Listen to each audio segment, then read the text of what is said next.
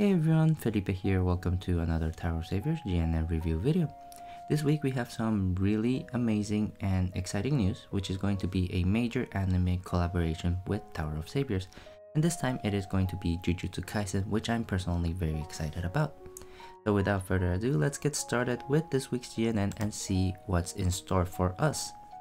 So, we have a new collaboration or new crossover with a new trait, the Jujutsu Sorcerer. This is going to be the archetype specific team skills and things like that. So pretty standard for collaborations nowadays. We do have the Descent of Ryomen Sukuna, the King of Curses, which I'm going to assume is going to be an ultimate stage, but we will have to see. So starting on April 24th, after maintenance, we will have the new crossover, which will introduce the 8 Jujutsu Kaisen characters to the game. And our first jackpot card is going to be Gojo. Uh, second jackpot card is going to be Itadori. And this dude. So I'm guessing um, because there are four characters in this banner, these are four jackpot cards. So I think Madhead is going with the route of introducing four jackpot cards per crossover, which I'm not particularly excited about. But uh, yeah, rare characters Gojo Satoru, Yuji Itadori, Megumi Fushiguro, and Kento Nanami are going to be the four jackpot cards. Not exactly super happy about it because it's just a way to get more diamonds. Although, if they're all super powerful, then that is going to be great. But from the Attack on Titan series, they were pretty good, but not not all the jackpots were super powerful, if you know what I mean. So having four jackpots in one seal could be good, but personally I am not happy about it, but I can see people being happy about it because it is more efficient with your diamonds. Uh, but yeah, we do have the new trait which is going to be the Jujutsu Sorcerer. This is going to be when both the leader and ally are Jujutsu Sorcerer members. We do have a specific um, team skill for them. This is going to be according to the number of sorcerers in the team. At the end of each round, cursed energy will appear at random positions to the max of 6 cursed energy for 6 Jujutsu sorcerer members. For each roof to dissolve in a cursed energy position, combo count increases plus 2. Cursed energy at that position will disappear. Jujutsu sorcerer members damage dealt to elves and demons times 2 additionally and upon the skill activation of a Jujutsu Sorcerer member, invisible enemies will be revealed. Honestly, this is a pretty good team skill and a really good passive because this means that everyone will be able to benefit from a combo count increase. And typically that is a very good team skill to have because a lot of enemies in the game have high combo shields and not only that, a high combo will give you higher damage and higher recovery. And because of that, no matter what Jujutsu Sorcerer you're running, you will have access to this combo count increase. This is reminiscent of Pompey and his like uh, sealed areas or for example uh, with his weapons. So as long as you dissolve them, you get extra benefits. And honestly, that's not bad at all. The fact that you also get extra damage to elves and demons is going to be situational but it's a good passive to have anyways. And being able to reveal invisible enemies without the need of a sniper is also really good. Because sniper active skills are not the best in terms of utility.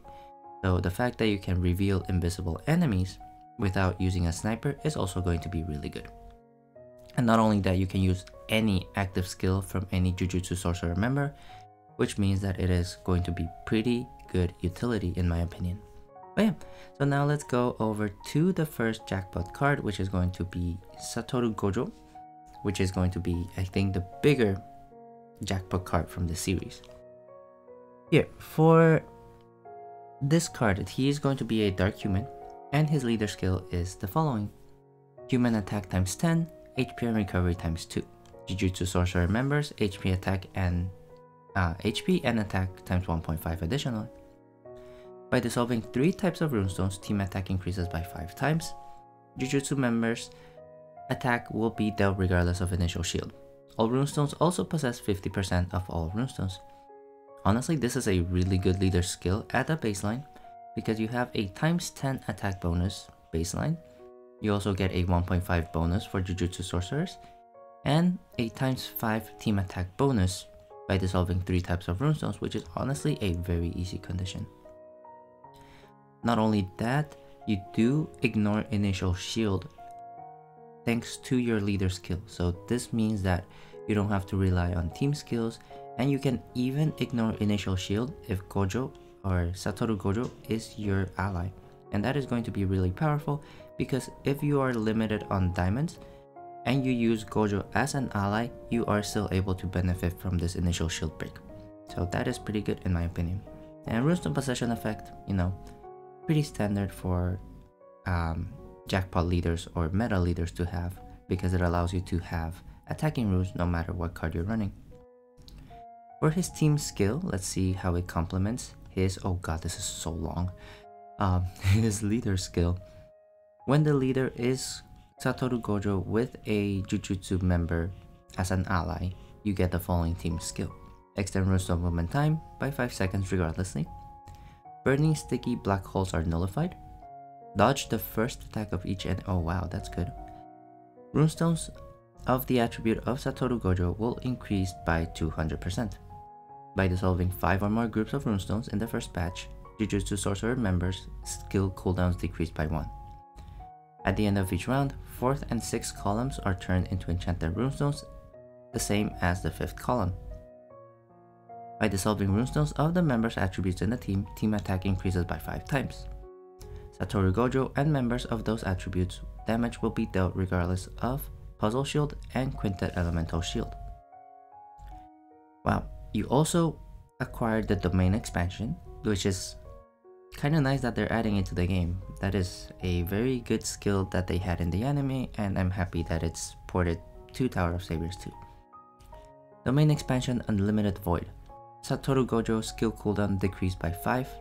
Attack of all enemies will be lowered to 0 until they are defeated. What? Restore all runestones to normal state. Turn all runestones into enchanted human runes. Combo count increases by 25.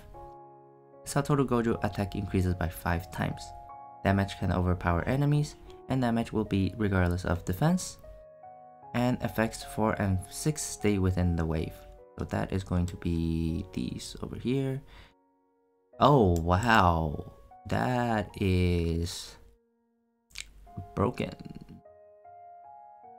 Oh wow, when both the ally and leader are Satoru Gojo, alter the attribute of Gojo in second, third, fourth column into fire, earth, light, and water. So honestly, wow, okay. Oh, that, oh my god, this card is absolutely insane. What the heck? Wow, okay, um, yeah, so the leader skill itself is already like pretty good. And that this team skill though, it's absolutely broken. You ignore burning sticky and black holes, which is really good. Um, any good leader nowadays has to ignore burning and sticky because it helps you ignore a lot of things. Runes of movement time, pretty standard but you get a times 5 team attack bonus with a very easy condition which is going to bring your damage output to higher levels. You ignore puzzle, you ignore quintet, you ignore the first attack of each enemy and this is a dodge so it doesn't is not affected by by uncontrollable enemies or you don't have to inactivate enemies so this is busted if you have played Anya you know how good this is um, yeah, skill cooldown minus one, really nice bonus to have as well. And the domain expansion is going to be super powerful as well. I guess it is balanced by the fact that you have to consume one activation of your Draconic Compulsion though. But this is an absolutely busted um, craft skill. Cooldown minus 5, which is already like pretty good. But here, attack of all enemies will be lowered to zero until they are defeated, which means that they will not deal damage at all because their attack is zero. And it stays in play until they are defeated, so which means you have unlimited rounds to kill them. And if that was not enough, you have a combo count increase of, of 25, which is going to increase your damage. Your attack increases by 5 times for Gojo, which is also gonna kill the enemy faster. Damage can overpower enemies as well, and the damage stay within the wave. And this is really good as well, because this effect right here, the attack lower to 0 will only affect 1 HP bar. And this effect right here is designed for enemies with multiple HP bars. If you use this craft skill at the beginning of a 3 HP bar enemy, only one of the HP bars is going to be is going to have their attack lower to 0. When they die, this effect disappears. However, thanks to this effect right here, the Human Runestone Enchanted combo count increase and the attack times 5 is going to stay active throughout all three HP bars and that is going to be super beneficial for boss enemies that have multiple HP bars.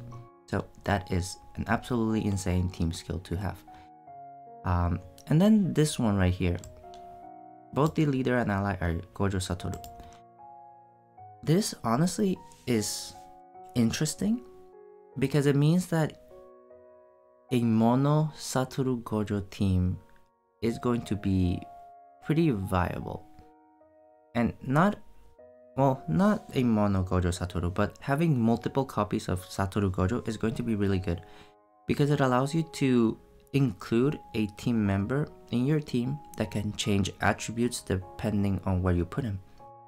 And say, for example, you need to break a 5 element shield or yeah, or you need an extra element you can add a second Gojo Satoru, Satoru Gojo to your team and have him become the element that you want. So that in my opinion is going to be very interesting. The only thing that's holding back this um, team skill is the fact that you need two copies or more of Satoru Gojo and given that he is a jackpot card, that might not be exactly the easiest to do, especially if you don't have that many diamonds. But yeah, overall, I think he is going to be a very powerful leader. He has very good damage output, he has good utility, he has an insane craft skill, and yeah, overall I think he is going to be a very powerful leader. For his active skill, we have a CD6 active skill with a giant paragraph in there. For the active skill, we have Satoru Gojo release its lock skill, so it will not be locked it will not be fatigued, it will not be hypnotized, and it will not be windswept. Okay, wow. Explode 3 columns on the right to generate enchanted light, water, and heart runes. Explode the 3 columns on the left to generate enchanted dark, fire, and earth runes. The character's attack increases by 5 times, and after dissolving runestones, the first and second batches of runestones to be dropped will be enchanted runestones of the character's attribute. The character's damage will be dealt regardless of fixed combo shield and anti-runestone shield first batch. So this active skill is honestly really good as well.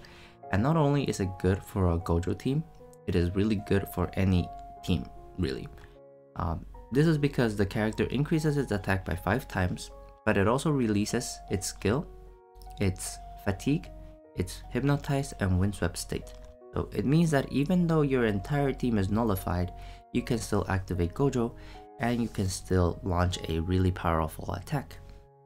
Not only that, you get a fixed board and you get guaranteed sky drop of the character's attribute. And in most cases, this is going to be dark, but if you take into account uh, his second team skill with the alter the attribute of Satoru Gojo, it means that you are able to generate as many runestones of any attribute that you want as long as you have two Satoru Gojos in your team. Or you have Satoru Gojo, uh, yeah, two Satoru Gojos in your team.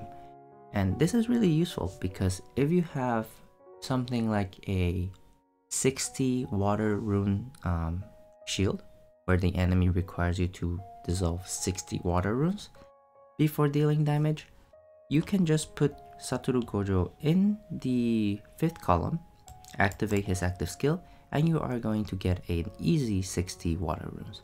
So this is going to be really powerful as well. But overall, I think it is going to be a really good active skill, even as a member in other teams. And because of that, you, you also ignore fixed combo shield and anti-runestone shield first batch on a CD6 skill. That is going to be really fast and really good in my opinion. So, you know, that is an amazing active skill. And if it weren't a jackpot card, I think it's definitely a must get in terms of uh, active skill. But we have to see the entire series before I recommend this active skill. I do think this is a really good active skill and a really good leader, and I'm inclined to recommend him to pull, but it also depends on what else you are able to get in this seal so that you're not really wasting your diamonds, you know? Yeah, we have bonding skills, which, you know, two extra attacks, eh, not bad. And skill cooldown minus one, also not bad. But yeah, next we have Yuji Itadori. He is going to be a light human and has the following leader skill. Jujutsu Sorcerer and Light members attack times 7, HP and recovery times 2.2. By dissolving light or heart runes, team attack increases by 4. Each member launches an extra attack of its counter attribute as much as 1.5 of its attack. As far as leader skills go, and as far as jackpot cards go, this one is pretty lukewarm. A times 7 attack bonus right now is not that high, especially if you compare it to Gojo's times 10, you know? I guess the, the plus side of it is that you also get a 1.5 attack increase um, because you're launching an extra attack. And you have an easy condition of dissolving light or heart runes to get a times 4 team attack. However, that is just a baseline of times 28, which is honestly not that high in the current state of the game. just just look at Gojo's though. That is a 15, this is a 75. This is a times 75 team uh, leader skill baseline without counting his other times 5s in the team. And so, you know, Yuji Itadori, not kinda, I don't know. The leader skill's a little bit eh, because it doesn't really have anything else going for it. Just the extra attack, but no utility, no runestone possession effect. But let's see the team skill to see if it's saved by it. When there is Yuji Itadori, Megumi Fushiguro, and Nobara Kugasaki, Kugisaki in the team, you get a 1.5 uh, stat bonus. Uh, not bad. Okay, there we go. The leader is Yuji Itadori, and the ally is a Jujutsu Sorcerer member. Extend runestone movement time regardlessly by 2 seconds. Yuji Itadori, HP, attack, and recovery basic value will be increased by 2. The team will not be poisoned, nice. All runestones also possess the effect of Jujutsu Sorcerer members attributes in the team. Jujutsu Sorcerer members will be uh, damage will be dealt regardless of fixed combo shield. When the runestone movement ends at the specific range below the HP bar, Black Flash will be triggered. Different effects will be granted when Black Flash is triggered multiple times. More than one time, Yuji Itadori, Kento Nanami, and Nobara Kugisaki damage will be dealt regardless of enemy specific damage reducing resistance. Two times, attack times 5 for the uh, previously mentioned members. Three times, combo and EX combo count increases by 5. More than 4 times, damage received minus 40%. The counting resets when runestone movement time ends outside the specific range 2 times consecutively.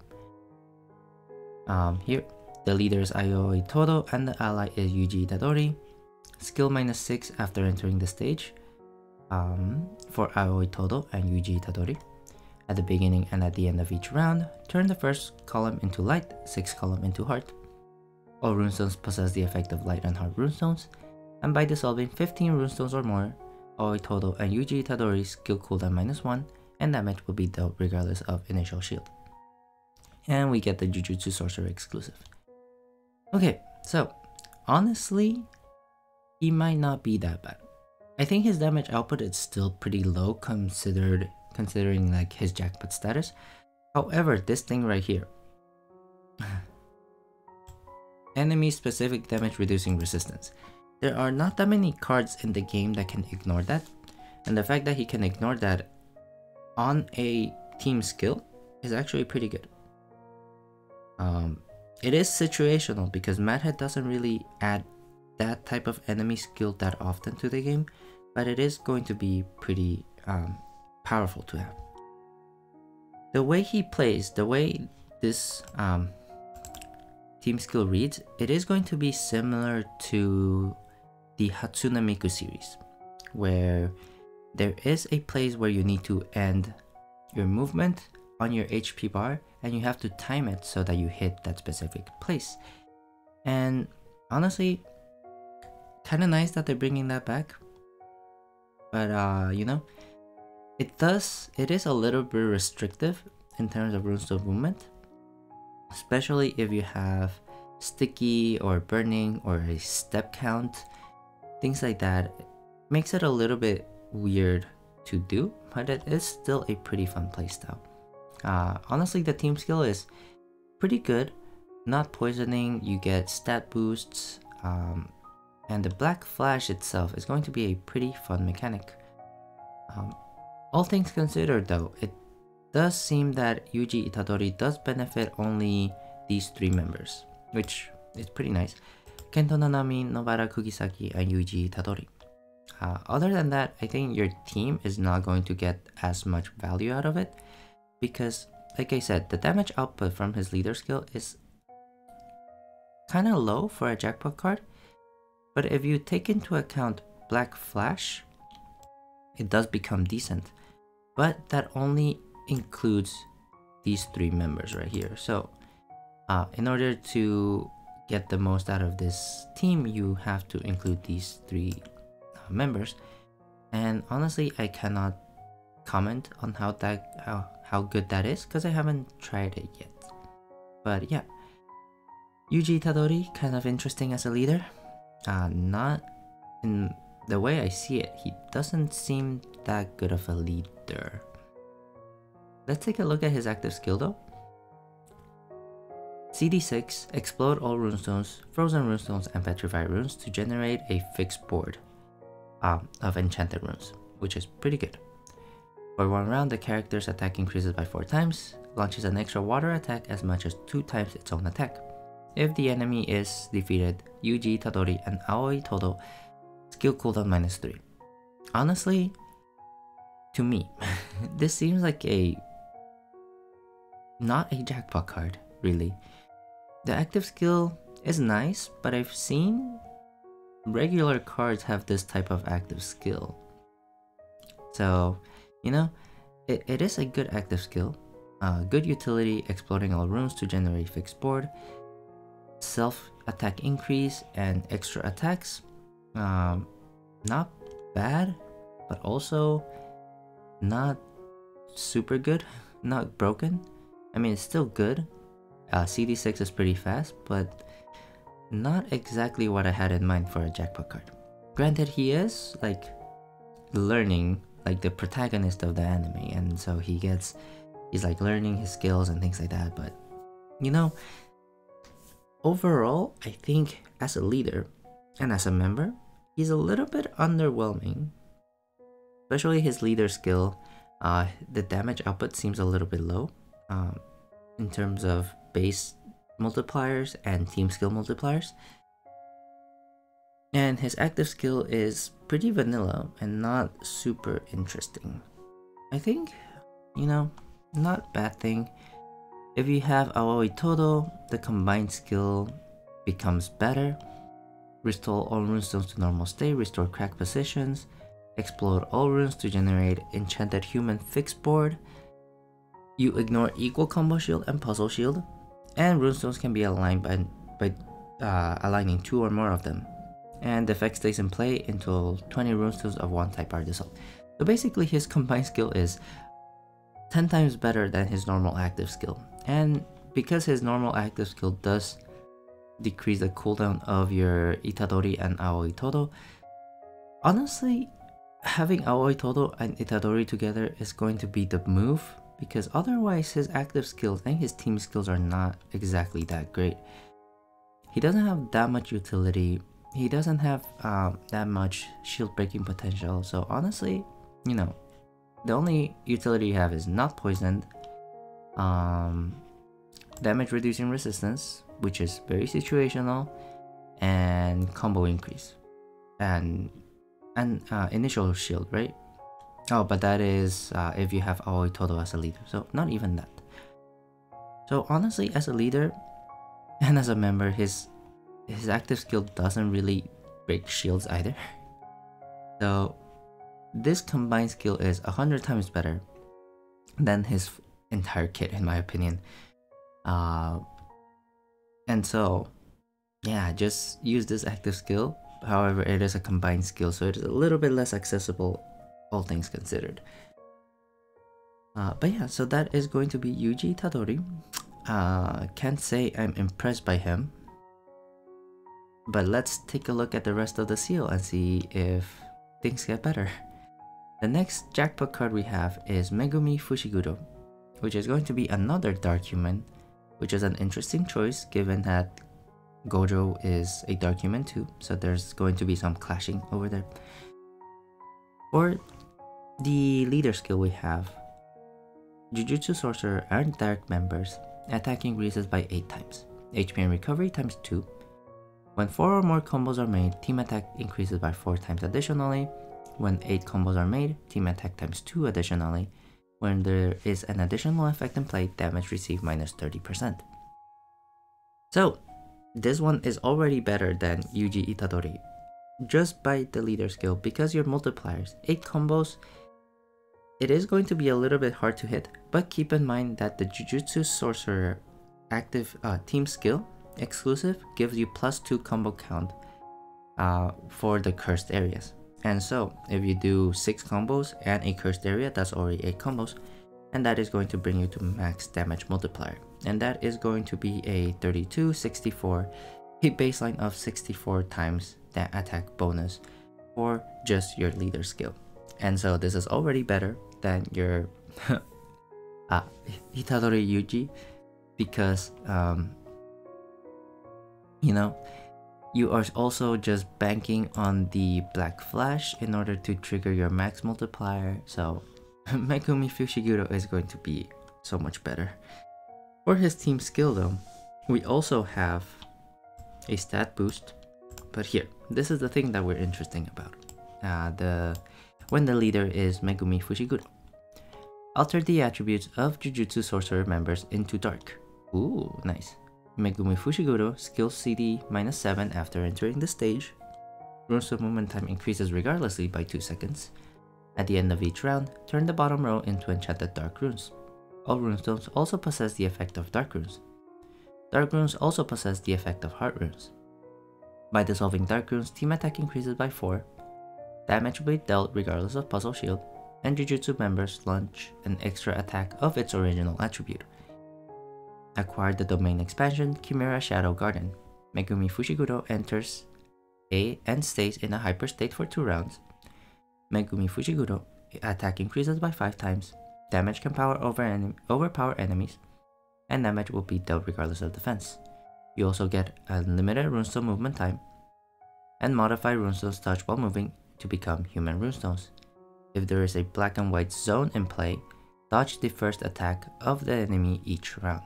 Effects 2 to 5 stay within stay in play within the wave. This can be activated by at the expense of one fully uh, one activation of your Draconic Compulsion. Honestly, this card is actually pretty good.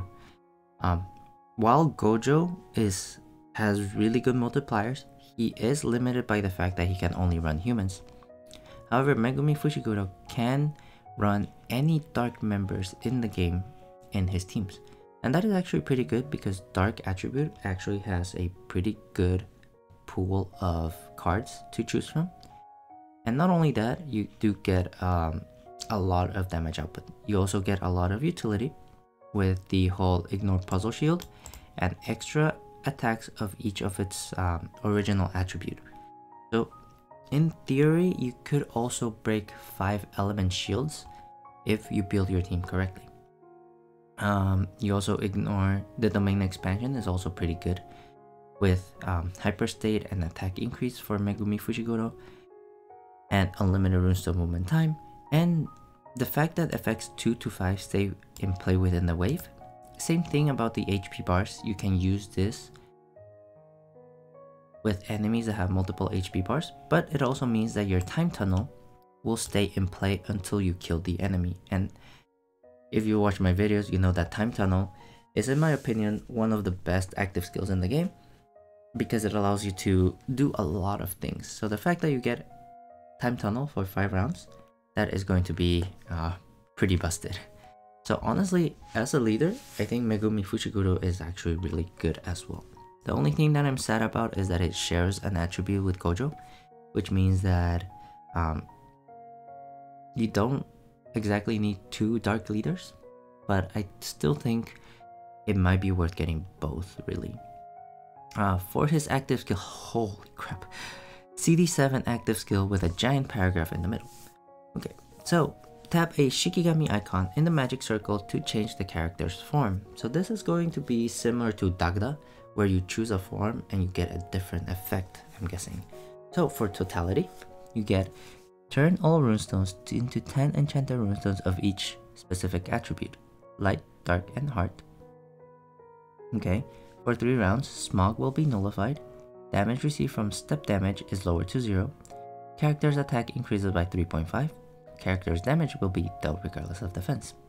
For Nue, explode all runestones to generate human runes, electrified all enemies for one round to inactivate them, damage dealt to them will be increased by 2 times. If it's a water enemy, damage dealt will be increased to 3.5 times instead. Max Elephant, deal a water damage of 50 million to all enemies regardless of defense. For 3 rounds, damage received from burning will be lowered to 1.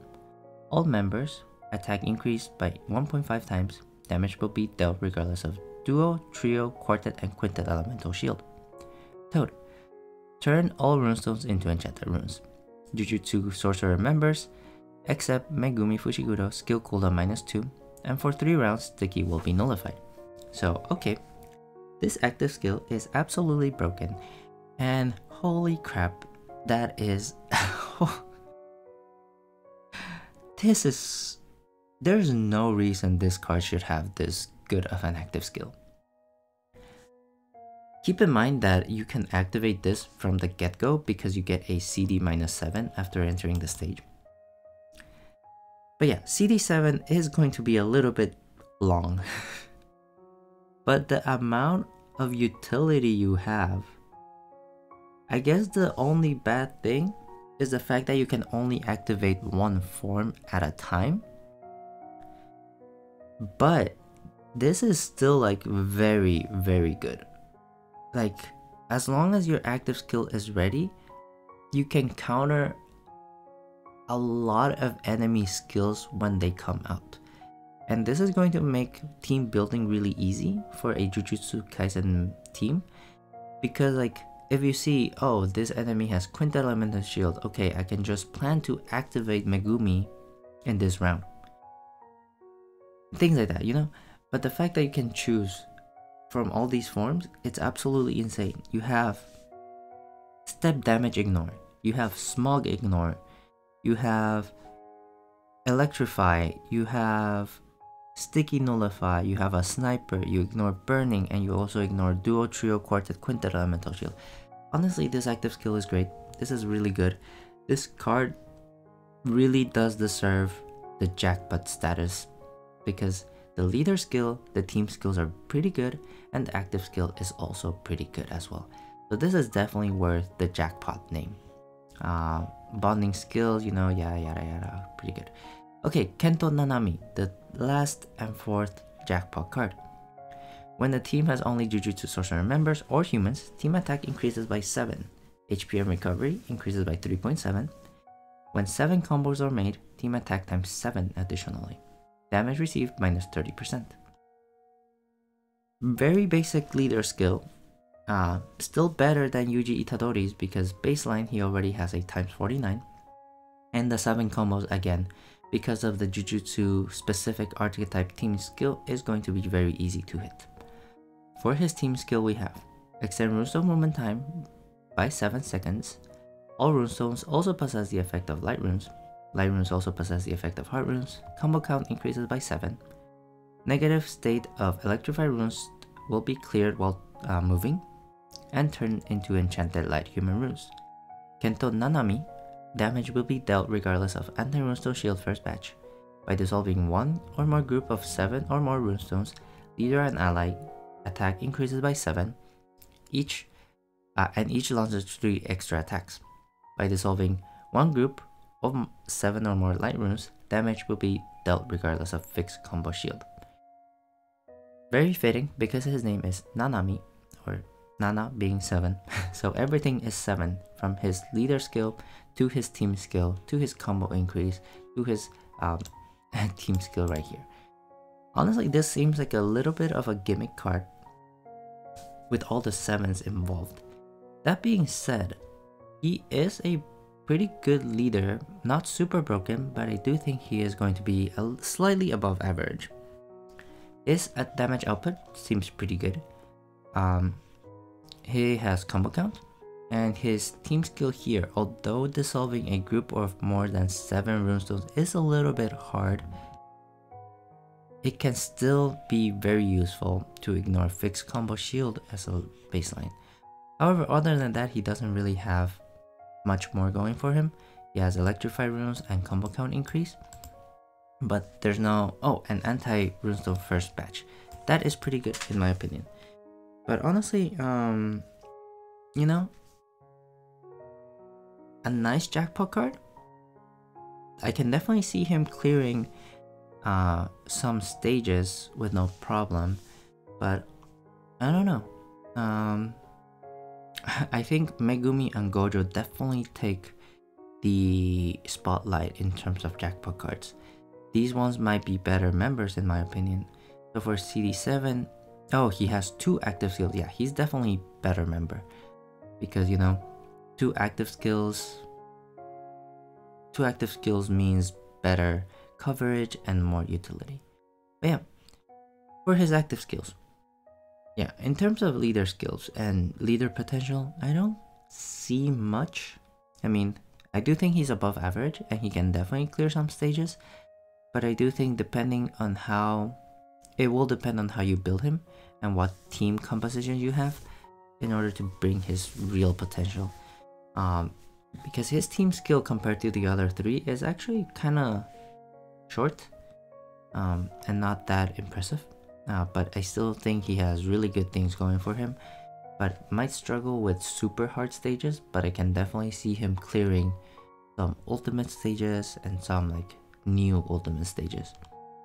Okay, in terms of active skill though, CD7, remove Tornado, characters attack increase by 7, turn 10 runes at fixed positions into light and heart runes of fixed numbers and fixed positions. By dissolving 7 light runes and 3 um, heart runes in the first batch, the character's damage will be dealt regardless of initial shield, enemy specific damage reducing resistance, and defense. So presumably, these uh, 10 runestones are going to be 7 light and 3 heart. Honestly, if you can do that, that is going to be pretty good. And Nanami is going to uh, launch a very powerful attack. Specifically, it can if it can ignore initial shield and specific damage reducing resistance. Honestly, if you add him into a Megumi team or a Gojo team, this could be a really good way to deal with enemies with damage reducing resistance because he gets a times 7 attack bonus and the other guys have like really good multipliers that can definitely help you make Kento Nanami into a very good burst card. In terms of a Kento Nanami team, this is also a good skill because Nanami himself already has um, he has uh, anti-runestone shield first batch ignore in his team and he also has a times 7 uh, attack bonus for a leader and ally. So this is definitely going to become a really powerful burst option for a Kento Nanami team. Outside of that, he's still pretty good burst option, specifically for a Gojo or a Megumi uh, team in my opinion. However, he also has a second active skill, CD3 which is actually really fast. The character enters or stays in a hyperstate for 3 rounds. Turn 3 or 7 random runestones into um, light human runes. Non-light runes rank first in priority. Honestly, uh, this skill is going to be pretty good for a Kento Nanami team. Outside of that, not super great. Um, what this means for a Kento Nanami team though is that he is going to have 100% uptime on Hyperstate. Hyperstate for 3 rounds, cooldown for 3 rounds means you can activate him again. This also means that you can generate a lot of light runes, which will help with your um, team skill here of dissolving one group of 7 or more light runes. So honestly, this active skill really really helps a Kento Nanami team as a leader. However, outside of that, unless you're running him in a actually this might be really good for any light human leader in the future because it is a really quick way of getting three or seven uh, attacking runes which is actually not bad and you also benefit from this uh, first active skill so you know he will become a good member for light humans in the future or for Xiangyu or um, yeah other light members right now but in terms of, uh, actually, you know what? The more I talk about it, I do think he is going to be a good member. In terms of general teams, this effect right here is not going to benefit as much because, you know, light humans might not be your runestones of choice for certain teams. But for a Nanami team, it's going to be great. And for any light human teams, it's also going to be great and that is because he has double active skill and not only do you benefit from this burst active skill you are also going to get a good converter for light runes which some light teams might really appreciate so you know definitely a good thing to have uh, and i think he is a good member to get in terms of leader again higher than average but not super broken. And in terms of active skill, I think he is a good member skill for Gojo and Megumi. Honestly, also for Yuji, so he is a good member for any Jujutsu Kaisen team. And for light human teams and light teams in the future, I think he is also going to be a very decent member to have. Um, but yeah, so that is going to be all for Kento Nanami. Also bonding skills, yada yada yada. All not honestly you know, really nice things to have for bonding skills. Okay, moving on, we have the non-jackpot cards, starting with Nobara Kugisaki. She is going to be an Earth human with a CD7 active skill and the following effect. Turn the top row into 3 Enchanted Dark and 3 Enchanted Earth runes, and the bottom row into 3 Enchanted Earth and 3 Enchanted Dark runes. This means that it is going to be different in terms of the location of the rooms. For the top row, it's going to be 3 dark on the left and 3 earth on the right. And for the bottom row, it is going to be 3 earth on the left and 3 dark on the right. For one round, the character's attack increases by 5 times, and the character's damage will be dealt regardless of initial shield. If the leader and ally are Jujutsu Sorcerer members, the character's attack in the next round will be the same as this round.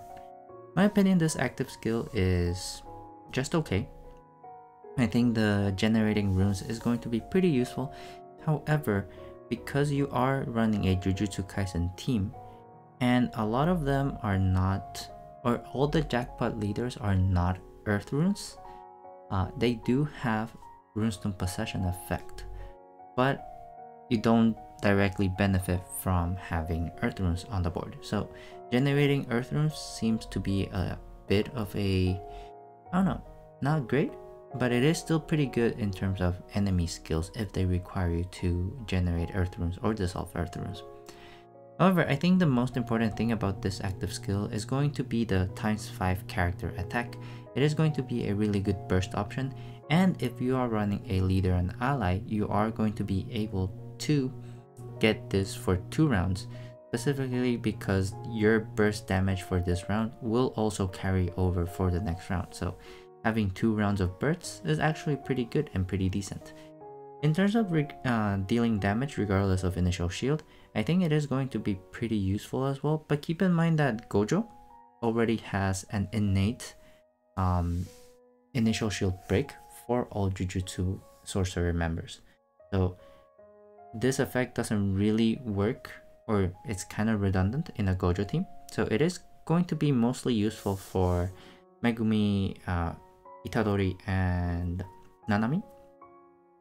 But uh, overall, I do think she is going to be pretty useful in a Jujutsu Kaisen team because of the two rounds of burst damage. In terms of members for other teams outside the Jujutsu Sorcerer archetype, I don't think she's going to be really uh, that useful because there's so many cards that do the same where you increase your own attack and also ignore initial shield. So there's not that many chances for her to take the stage since there's so many other cards in the game that do the same. The reason why she fits really well in the Jujutsu team is because of the fifth effect that allows you to have two rounds of burst damage and that in my opinion is pretty unique and pretty useful. Other than that, uh, I think this card might be nice to have and if you're going for the jackpot card you're most definitely going to get at least one copy. Or uh, we do have bonding skills but you know yada yada. Next we have Maki Zenin which is going to be a fire human card, CD6 active skill and the following effect. Turn the top row into enchanted human fire runes and the bottom row into enchanted hard human runes. For one round, the character's attack increases by 4 times. If there are 2 or more Jujutsu Sorcerer members in the team, damage will be dealt regardless of fixed combo shield. Again, same thing as um, Nobara Kugisaki. I think her active skill is just okay. And it is very catered towards just a Jujutsu team. Again, Turning the top row and bottom row into fire and heart runes, not super impactful uh, for a Jujutsu team or for any teams in general really. 4 times character's attack also is nice, but because this active skill doesn't really have anything else tied to it, might be a little bit more rough to justify adding her into your team. Uh, here's the thing though, if you are running a Jujutsu Sorcerer team, you can ignore fixed combo shield, but a lot of the jackpot cards already ignore fixed combo shield, specifically the Jujutsu Sorcerer teams. So, I don't know, this this card actually seems a little bit underwhelming, so I... You know, you are going to get a copy of this card if you go for the jackpot cards, but overall, I don't think she will see a lot of play specifically because she doesn't do much in terms of active skill. Next, we have Toge Inumaki, which is going to be a water human, CD7 skill, and has the following effect. Restore all runestones to normal state. CD of all enemies will be delayed for one round. If the leader is a Jujutsu Sorcerer member, CDs of all enemies will be delayed for 2 rounds and you will fully recover your HP. Honestly, this active skill is not bad. This one's actually pretty good in my opinion. Restoring all runestones to a normal state is going to be very useful when you encounter weathered, petrified, electrified, condensed, um, uh, yeah, so those kinds of board debuffs are very good to remove, so that is pretty good. And delaying your enemies for one round is also very powerful. Think CD7 is going to be one of the faster crowd control skills in the game most of them are CD8 and above, so having a CD7 crowd control skill is going to be very useful. And if you have a Jujutsu Sorcerer member as a leader, this increases to 2 rounds of delay, which is very powerful. In my opinion, like the reason why so many people run the Chaos Craft is for the 2 round delay, and that is very useful. And so having that in an active skill also makes it pretty useful as well. So this card is pretty good, but it's not absolutely broken because the only thing it does is delay enemies for one round or two rounds. And it would be better, it would be absolutely broken if it had other utility built into it. Keep in mind this delay will probably not work on uncontrollable enemies, so that means that there are some cases that this card might also be dead in your team, Uh, and you know, if it had more utility, it would be absolutely insane and definitely a must pull. But as it is right now, I think it's just okay and it's just pretty good. Okay, next we have Panda. its name is just Panda. And Panda is a Earth beast and has a CD7 skill and the following effect. Explode heart runes to generate enchanted beast earth runes. If there are no hearts upon the skill activation, all runestones will be turned into enchanted bee runes. Jujutsu Sorcerer and Beast members will have an attack increase of 1.6. Damage will be dealt regardless of Puzzle Shield, and effect 2 stays in play until heart runes are dissolved in the first batch. If, for one round, if the leader is a beast or a Jujutsu Sorcerer member, beast runes also possess the effect of all race runes. Damage received in the round will not lead to your defeat. So here's the thing, I think this card is absolutely amazing, but not for a Jujutsu Sorcerer team. I think this card is going to be an absolute powerhouse in Beast teams. So, given that none of the jackpot cards in this series are Beasts, this means that this card is just going to be really good for other Beast cards in the game, for example Caesar or like Dagda, things like that. And that is because his active skill actually benefits beasts as well as Jujutsu Sorcerer members. And here, the fact that it also synergizes really well with the other panda in the game, which has the decreases the drop rate of heart runes to zero, makes this so much poetic and really funny in my opinion. Uh, but yeah, because of the utility it brings to the table, I think it is going to be absolutely amazing for beast teams. You ignore Puzzle Shield, and this ignoring Puzzle Shield stays in play. You, well, you get a 1.6 attack boost and ignore Puzzle Shield, and that stays in play until Heart Runes are dissolved in the first batch. And honestly, that is an amazing continuous effect to have, because not only do you get an attack boost, but you also ignore Puzzle Shields.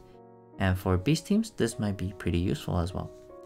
Also, when you activate the active skill, you will also not die because the damage received will not lead to your defeat for one round. And that effect applies if your leader is a beast. Not only Jujutsu members, if it's a beast as well.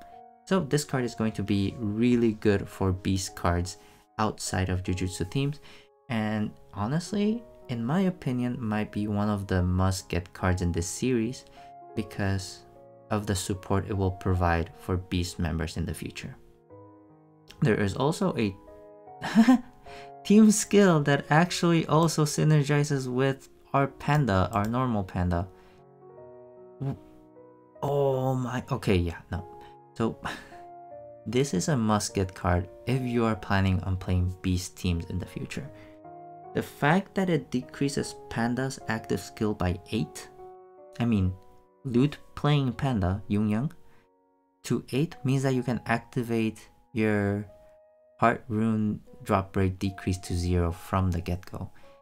And honestly, that is a, such a good thing because the problem with running cards that decrease the drop rate of hearts to 0 is that you always had to wait until their cooldowns were ready. So Wenzong, like Yan, like uh, Dark Sea, um, Heimdall, and Panda, you would have to wait 8 rounds before you could activate it. The fact that you can just put these two together and activate Yungyang the Panda from the get-go is going to be absolutely amazing and honestly, in my opinion, definitely worth getting this Jujutsu Panda. Okay, and that was the last um, the last non-jackpot card. So overall, I think in terms of obtaining priority and level up priority, I think obtaining Panda first, definitely good. Because it doesn't really benefit your Jujutsu members, but it is going to be an absolute beast of a member for beast teams in the future and definitely worth getting uh, you don't want to miss out on this card, specifically if you're planning on running beast teams in the future. Next is Toge Inumaki because of the delay skill and the board refresh. lastly, Nobara Kugisaki for the two rounds of burst. And last is going to be Maki Zenin because her active skill is actually low-key underwhelming and not that useful. But you know, uh, to each his own. But yeah, uh, that's going to be all for the non-jackpot cards. And now we're going to go cover the exclusive Dragon Wares. As you know, a lot of the collaborations nowadays come with exclusive Dragon Wares. So now we get to see what we have in store for them. We have the Satoru Gojo sunglasses. Um, basically, uh, basically, you know, Dragon Wares are must gets and gives you extra stat boosts. Uh, no problem. Um, but yeah, definitely worth getting all of them. Let's see. Uh, Dragonware, 1 second, active skill minus 1, you know. I mean, they're Dragonwares, they're all really good. Uh, active skill minus 1 after entering the stage. Megumi Fushiguro, yeah. Attack boost, attack boost. Honestly, there's not much to say about Dragonwares except for the fact that you should get them because they're just very good. Uh, and definitely, it, it not only provides you a stat boost, it also gives you passive skills that also increase your damage output. So, you know, really good. For example, Panda recover HP every round, and that is unconditional, so you know. Uh, but yeah, basically get all the Dragon Wares you can. Uh, next thing we have is going to be the skill level of material.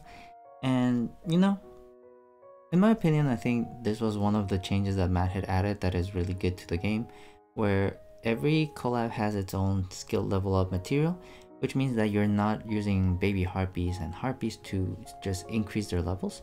I think just by using the skill level up material, which they actually give us plenty of through the stages, through the shop, and through events, that it makes it really easy to level up the skill of your Jujutsu Kaisen or collaboration members. So, you know, uh, that is good. This is going to be Colorful Bucks Lunch, uh, which is a funny uh, character, but you know. Uh, but yeah, so increase your level up, and then we have collect Sukuna fingers to get Ryomen Sukuna. Oh, okay, so now this is another item collecting mission, so we've had plenty of these at, at this point. But if you are not familiar with them, for every point of stamina that you spend, you can get one item. And you can use those items in a special shop to redeem special prices, such as materials, characters, etc. So in this case, you can use Sukuna fingers to collect Ryomen Sukuna may exchange 10 Sukuna fingers for Ryomen Sukuna for 1 in the crossover shop. Then, at most, Ryomen Sukuna times 2 can be redeemed with 20 Sukuna fingers, meanwhile summoners may also get the character simply by purchasing the King of Curses gift pack. Uh, let's see, Ryomen Sukuna, it is going to be a Dark Demon. When the team has only Dark members or demons, team attack increases by 10 times. HP and recovery times 2.8, by dissolving demon runes, team attack times 4. For each group of runestones dissolved in the first batch, combo count increases by 1. When 10 or more combos are made, Ryomen Sukuna attack increases by 2.5 times additionally. Actually, for a free card, that is a pretty decent leader skill. The only thing that's going to be sad is that you have a limit of 2 Ryomen Sukuna, so definitely keep both of them because you might want to have multiple of them in the team. For his team skill, oh wow, this is actually a very good free card. Okay, I might be wrong, let's see. Okay, so this is not your typical item collecting event. Normal item collecting events will give you one item per stamina, but because there is a limit of 20 Sukuna fingers, I think you have to meet certain conditions um, to obtain these fingers. But yeah, but this is a very good free card uh, for for yeah for an item collecting event. The leader skill itself has very good multipliers. This is a times 40, so this is almost like a 80, 120 multiplier if you're for Sukuna, but a base of 40, which is honestly very good. Uh, and we also have a team skill when both the ally and leader and ally are Ryomen Sukuna. We get a very long team skill, which means that typically it's a good thing. 5 second extended runestone movement time. For each demon in the team, you get 20,000 shield points to the max of 120,000, which is very high. Burning and Sticky are nullified. At the beginning of each round, modify all runes to become demon runes, which synergizes very nicely with your leader skill and makes this condition uh, basically trivial since you are generating demon runes every round. We also have, um, yeah, damage will be dealt regardless of equal combo shield and initial shield. When black and white zones are in play, Ryomen Sukuna's attack increases by 3 times. The more Ryomen Sukuna in the team, the more effects will be granted. 2 or more, all runestones possess the effect of all runes. 3 or more, Ryomen Sukuna skill CD minus 1, and attack times 3. More than 4, Ryomen Sukuna damage will be dealt regardless of fixed combo shield and defense. This one... Uh, so if you have leader and ally, that's 2. If you have another copy, that's 3. And I think for this fourth one, you might actually have to buy the gift pack, which makes me a little bit uncomfortable the fact that one of the team skills is locked behind a paywall. Hopefully there's another way to obtain another Ryomen Sukuna because it seems that from the item collecting mission, you can only collect two. Uh, but yeah, you can only collect two so at most you will have three free ones if you count your ally. So having four is going to be difficult. But if you are able to, this passive team skill is going to be amazing since you can just ignore fixed combo shield passively as well as equal and initial shield. And honestly, those are very good utility and shield breaking effects. You also acquired domain expansion Malevolent Shrine which creates black and white zone, which helps you obtain this times 3 attack bonus. Upon skill activation and at the end of the round, turn all runestones into runestones of all types of fixed numbers and fixed positions. These two effects will stay in play within the wave. So again, same thing with Gojo and Megumi, where it is going to be very useful for teams with um, with against enemies with multiple HP bars. Um, yeah, very good leader. I think this is an amazing leader, given the fact that it's a free-to-play card. Uh, so definitely get this card if you can. For his active skill, we have a CD7 active skill with the following effect. Fully recover HP. If the leader is a dark member or a demon, refresh the protective shield. For one round, damage received in the round will not lead to your defeat. Launch a dark counterattack as much of a thousand times the damage received to the attacking enemies regardless of defense and enchanted runestone shield. In the next round, the character launches um, in the next round, the character's attack times 6 and launches 5 extra attacks of each attribute. Um, summoners may still be defeated because of it. Okay. So you might die, is what they're saying. Like, if you die, it's not the skill's fault. uh, actually, wait, that doesn't make sense. Well, that's dumb. But basically, this active skill is honestly pretty good for a free-to-play card. It does a lot of utility. It gives you protective shield, counter attack, and not only that, it also gives you ability to break the 5 element shield that some enemies have and in my opinion is one of the most annoying shields in the game.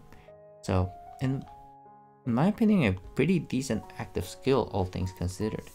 Specifically because he's a free-to-play card with a good leader skill, honestly you cannot go wrong by going for this card and leveling it up to max uh, dual max status. Uh, but yeah, we also have a new minigame which allow you to three levels. Yeah, you can get Harpy Knight, Black Keys. Oh, interesting minigame. Fun things to have. Very fun. Now we have Ultimate Stage, Carnage of Idle Transfiguration. We are going to get Mahito, which is a water demon card. Has two active skills actually, that is pretty good. CD6, by tapping a runestone of the magical elements twice, turn that type into water demon runes, enchanted water demon runes. Honestly, a very simple skill, and if it this were its own active skill, then it would be kind of useless. But because he has a second active skill, I think it is more worth it. CD8, petrify all enemies to alter their attributes into dark. Each member launches 2 extra water attacks, and damage dealt to dark enemies by water members times 3 additionally. Honestly, this effect is really good, uh, because normally when you petrify an enemy, it becomes earth. The fact that you can petrify an enemy and make it dark is very unique and honestly very good as well. Also, normally when water cards inflict status effects, they transform them into fire to obtain the attribute advantage, which means that having a water card that can petrify is also very unique because normally water cards freeze enemies and now more often they also ignite, but very rarely do they petrify. And not only do this card petrify, it only also transforms into dark. So in overall, I think this active skill is definitely good to get because of the unique combination of controlling skills that it has. It petrifies and transforms into dark, which is honestly very unique and definitely worth getting just in case you encounter a stage that requires this specific combination of effects. Okay, so that is going to be all for the Jujutsu Kaisen collaboration news this week. And we are going to go uh, TOS Battle Pass. Oh, that's it. So, new Battle Pass is coming our way with a new character, which is going to be a Tug at Heartstring Kejuro CD1. Uh, it is a reskin of Kejuro, which is also CD1. Uh, but this time it, she is going to be a water demon instead of a light demon. So according to the number of accumulated battle rounds, turn runestones into demon water runes. If the skill is activated when accumulation reaches max, runestones will be turned into enchanted demon water runes instead. Counting resets when the skill is activated. Basically, this is just a water version of your normal Kejuro, which honestly, she wasn't a bad card to begin with except she has seen less play nowadays because her active skill does not include any type of utility, which is also the issue with this uh, Battle Pass card. You don't really have a lot of utility, and you know, uh, it might be good to have in your inventory, but nowadays team slots are more valuable, and having a card that does more things is better than having a card that just generates um, attacking runes. So yeah, in my opinion, this Battle Pass card, while nice, I don't think is what we need in the current meta right now. But yeah, and that is going to be, well, I mean, we have the usual Battle Pass news, a new outfit, and a new uh, Dragonware for the paid version of the Battle Pass. And in this case, this Dragonware, let's see, one round, one second, 1.6, 1.3. In this case, I don't think this Dragonware is worth paying the full battle pass, but you know, to each their own. If you want to pay for the battle pass, go ahead. Uh, just keep in mind, it is your resources. Um, and so, yeah, I'm typically of the opinion that the battle pass is not really worth purchasing because everything else that you can get from the battle pass you can get somewhere in the game yes you do get more resources from the battle pass and you also get exclusive rewards such as the outfit the frame the dragonware but honestly i personally don't need the outfit the frame or the dragonware and the rewards with enough time you will be able to obtain them as well so in terms of spending money, uh, I personally wouldn't spend it on the battle pass. But if you have extra expendable income or extra resources that you would like to spend, uh, it is your decision. But just keep in mind to keep your financial well-being in mind first before you spend any money in any of these games because at the end of the day these are just gacha games and uh, it will not replace uh, your real life you know? Uh, but yeah that is going to be all for this week's GNN so just to recap we have a new collaboration which is the Jujutsu Kaisen collaboration with four new jackpot cards. Unlike the Attack on Titan collaboration in this one, you are guaranteed Gojo at 35 pulls, but you are not guaranteed any of the other characters. Um, so unlike Eren, which was guaranteed at 35, and Levi guaranteed at 40, this one doesn't have um, two guarantees. It only guarantees you Gojo at 35, and the other three are going to be given uh, randomly if you're lucky. And in my opinion, I think that is pretty good. Uh, honestly, I think that's even that's kind of better, but also worse, you know? Um, at the very least, with Attack on Titan, you could guarantee two jackpot cards if you spend enough diamonds. In this one, if you're really, really unlucky, you might not get one of the jackpot cards. So, I think that was one of the biggest things in the past for me is that because only one of them is guaranteed, sometimes you get unlucky and you don't get the other one. Uh, in my painful experience during the Konosuba collaboration, I got 7 aquas and I got 0 darkness. So now that there's 3 jackpot cards that you might miss, that might get painful. But that also means that during rate up, because there's 4 jackpot cards and non 4 non-jackpot cards, the rate of jackpot cards is going to be increased. So overall, you are going to get more jackpot cards. Whether you get the one that you want, that is up for debate. But um but yeah, overall more jackpot cards equals more cards to collect, higher chances that you're going to fill up your inventory with non-jackpot cards. So the big question here is the is it worth pulling for this seal given that there's the chance of so many non-jackpot cards. So first of all, pull during rate up for sure. And unless you're creating content or you want to enjoy the Jujutsu teams from day one, I will say don't pull until rate up. Because pulling during rate up is the best decision you can make if you are saving your diamonds and want to eh, uh, maximize your diamond efficiency. Second, if you're going all the way for a guaranteed Gojo, which is not a bad thing, you are also potentially going to get many jackpots during the way during rate up. So assuming you are able to get a full collection in one cycle, getting Gojo, um, honestly, that is not bad.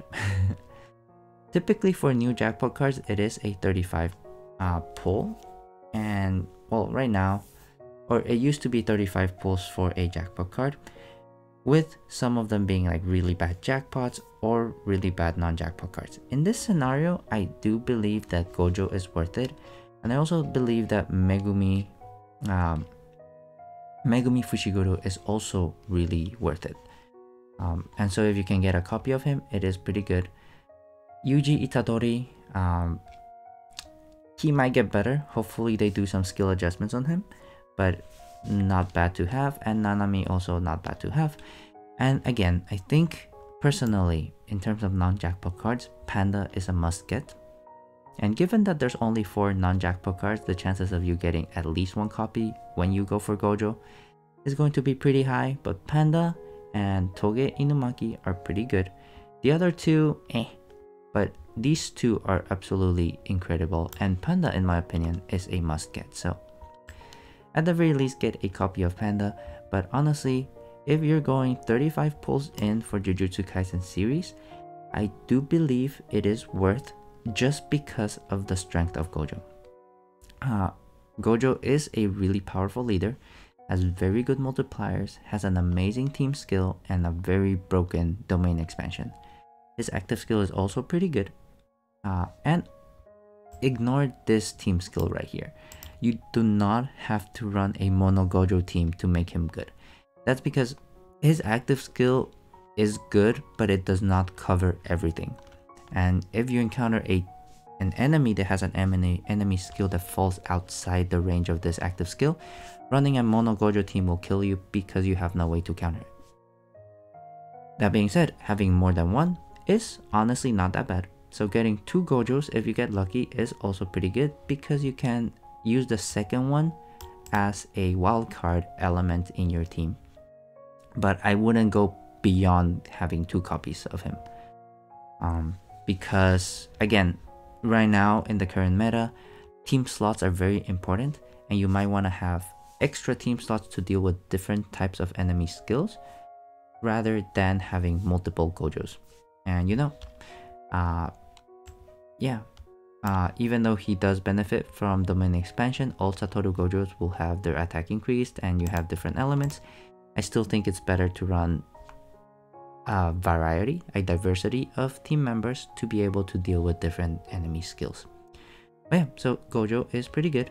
I do think it is worth going for him and because going for him will give you some of the other jackpot cards along the way, I will say it's good. And here's the thing, if you only get Gojo and one more jackpot card, I would recommend using your tombstone to change for Megumi or obtain Megumi Fushiguro. And that is because even though Itadori is good and and um, Nanami is also good, their active skills are not that great and when they fall off the meta, collaboration cards are only useful for their active skills. And so if we are only looking at active skills, this active skill right here is absolutely broken with a lot of utility, a lot of flexibility, and definitely worth having in your inventory for future teams. So if you only obtain one jackpot card, you get really unlucky, use your, uh, was it Glory Stone? Uh, use your Glory Stone to exchange for Megumi Fushiguro because his active skill is the best one out of all three of them and definitely worth having even after the collaboration ends. Although if you pull your rate up, it might be unlikely that you don't get more than one jackpot, but you know, uh, bad luck still happens and I hope the odds are in your favor. But yeah, so just to keep going on the, with the recap, we have the new jackpot card, so, uh, Gojo Satoru, uh, which is a very good leader, very good team skill, very good craft skill, and an amazing active skill as well. So in terms of power level, I do think he is going to be up there in the current meta, even with the likes of lower tier black gold cards such as Nisoi. Uh, Nisoi, honestly, I think doesn't really deserve the black gold card status, but Gojo does reach that level, so I guess Gojo does have the power of a very low tier black gold card. He of course doesn't reach the level of Yingzhen, Xiangyu, Tsuyo, or like Lilith when they came out, but I do think he has the power level of Nisoi. Um, and maybe like Black Gold Eve. Uh, but yeah, so he is very powerful. Itadori, honestly, a little bit underwhelming still, so I wouldn't be sad if you miss out on him. Uh, Megumi, really good leader, also an amazing active skill. Definitely worth having in your inventory after the event ends. Nanami, uh, pretty good leader, not super broken, above average in my opinion, but I do think he is going to be a very good light human support card in the future, given his generation of attacking runes, but also having a second active skill that actually does uh, provide some utility. We also have four jackpot non-jackpot cards, uh, which two of them are just okay. Toge Inumaki is actually pretty good in terms of delaying enemies, and Panda is absolutely broken for beast teams in the future. He won't be that useful in Jujutsu Kaisen teams, but he will be very useful for beast teams in the future. So in my opinion, it is a must get uh, from the seal if you're planning on running beast teams in the future. We also have new Dragonware, which as always, just get it and just equip it because it is a stat boost and 3 passive skills that you are granted for free. Um, level up card and we also have a new item collecting event collecting Sukuna fingers which you should definitely do because this is one of the best free to play cards that I've ever seen in in my time uh, playing the game. This is a very good leader skill, really good team skill as well. And a really good active skill. So overall, a very good card for a free to play as a free to play card. And if you're if you don't have demon leaders, this could become your demon leader in the future. Uh, but yeah, new minigame and a new ultimate stage, which honestly, this ultimate stage card is also a very recommended. Uh, I do highly recommend getting a dual max copy because his controlling skill is very unique in terms of combination. Water cards only usually provide freeze and ignite more often, and they usually alter their attributes of the enemies into fire or water. So having a card that can petrify and turn enemies into dark on a water card is absolutely, um, it's not a must get, but highly recommended to get just in case uh, you need it in the future. And lastly, we have a new battle pass with a new uh, reskin of Kajuro, which has the same active skill. However, keep in mind that this skill doesn't really provide any utility and it only provides attacking runes, which in the current meta, I do believe that team slots are very valuable and each team slot should provide at least some utility for you to be able to slot it in your team for harder stages. And that is going to be all for this week's GNN. So please let me know in the comments if I missed out on anything or said anything wrong and stay tuned on my YouTube channel for more Tower Saviors content. I do post clear videos, guides, and other um, variety of Tower of Saviors content, so keep an eye out on that. But for now, stay safe, stay healthy, and I will see you next time. Bye everyone!